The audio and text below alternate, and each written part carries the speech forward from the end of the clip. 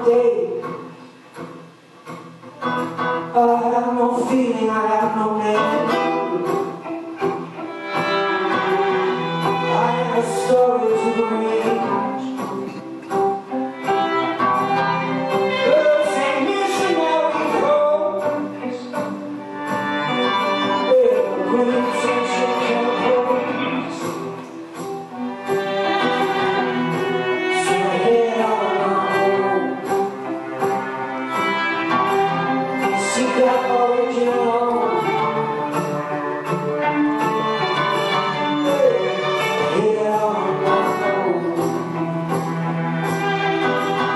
soul.